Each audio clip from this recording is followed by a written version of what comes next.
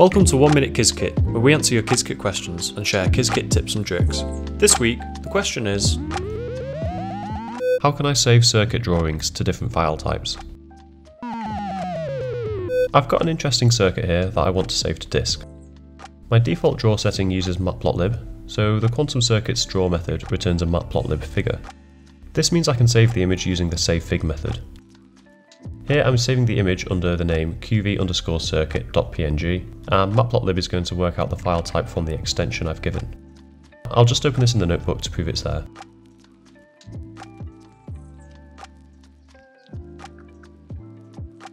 We can see the image is a little bit fuzzy. You can increase the resolution by increasing the DPI, or instead we can save the image as a scalable vector graphics image, which is a bit more data efficient for simple diagrams.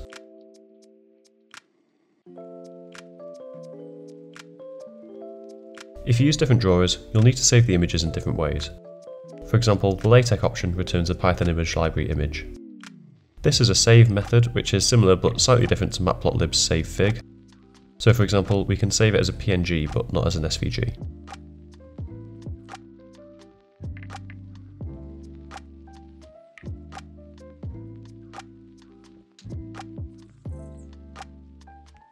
The other two drawers return text, an easy way to save them is by copy and pasting these into a text editor, although you can also do this programmatically if you need.